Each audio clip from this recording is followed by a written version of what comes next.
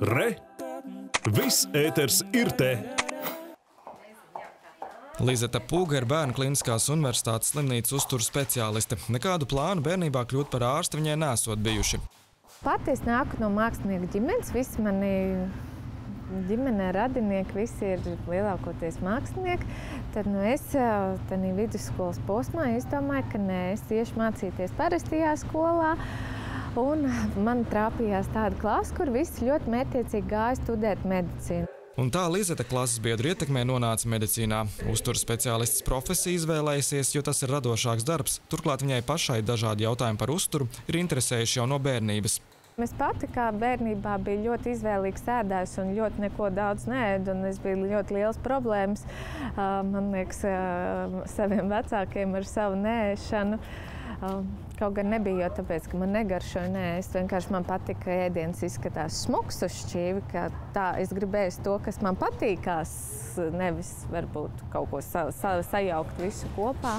Tagad viņas darba pienākumos ietilps parūpēties par pacientu ikdienas ēdienkartes slimnīcā un to, lai produktu šķīvi izskatītos tā, ka bērni tos vēlas apēst. Ne visi pacienti ēd vienādi, kādam ir jāievēro diēta, kādam ir alerģijas. Lizeta arī konsultē pacientus, piemēram, ja viņiem ir liekais vai tieši otrādi nepietiekams svars.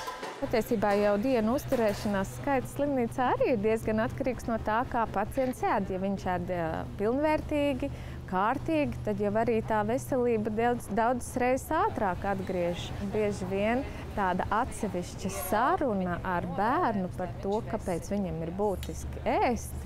Šobrīd, tieši atrodoties varbūt, stacionārā, ir ļoti būtiska un palīdz arī tiem pašiem vecākiem. Jo citreiz jau bērni neklausās tā mamma un tēta, ko tad viņi tur stāsta, ko tad viņi tā.